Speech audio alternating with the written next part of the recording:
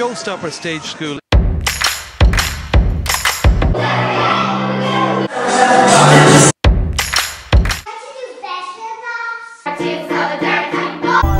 Mom!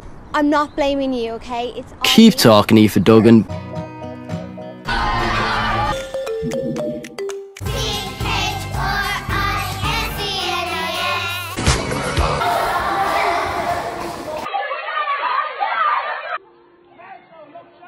small.